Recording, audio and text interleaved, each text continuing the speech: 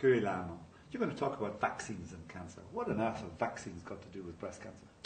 I believe we have uh, several evidences of, uh, and proof of activity of vaccine therapy in breast cancer. There are several papers published a few years ago that demonstrated immunological response in patients that have been treated with peptides, specifically I, am talking about peptides for HER2, in which patients we had an evidence of immunological response with uh, the production of specific monoclonal antibodies against the extracellular and intracellular domain for HER2.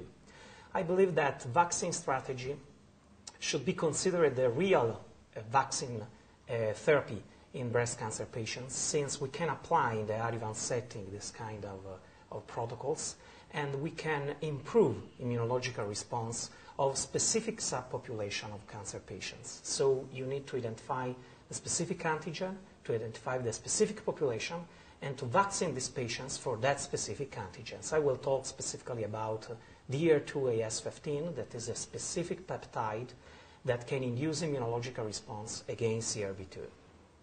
And are there other uh, potential antigens?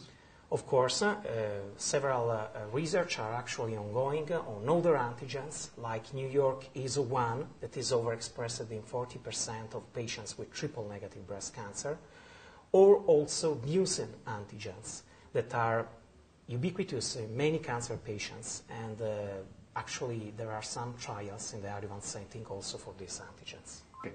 Um, do you think any of these vaccines have got any real data to back up their use yet, or is this very experimental?